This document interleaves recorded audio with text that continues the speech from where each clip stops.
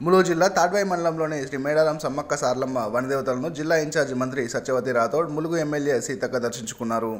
ఈ సందర్భంగా వారు మాట్లాడుతూ మేడారం జాతర అభివృద్ధిపై రాష్ట్ర ప్రభుత్వం వెంటనే నిధులు మంజూరు చేసి పనులు వేగవంతం చేయాలని జాతరకు వచ్చే భక్తులకు అవసరమైన అన్ని వసతులు కల్పించేందుకు ప్రత్యేక చర్యలు తీసుకోవాలని కోరారు.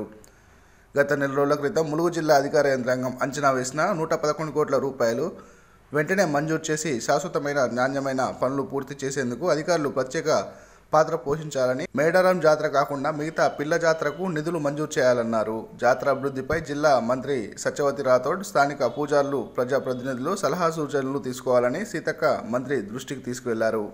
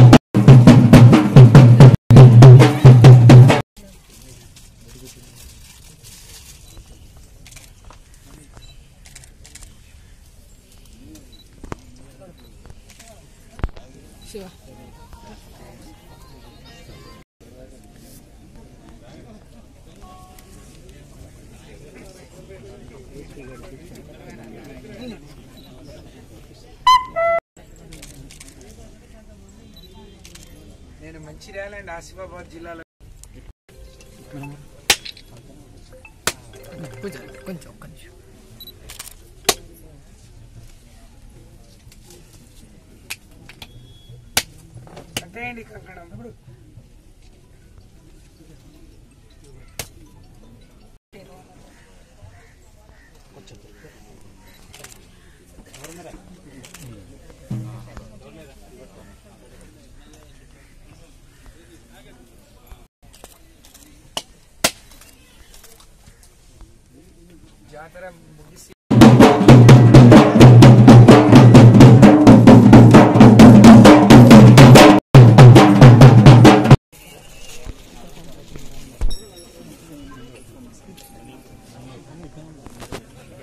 తీసుకోమ్మా అందరికి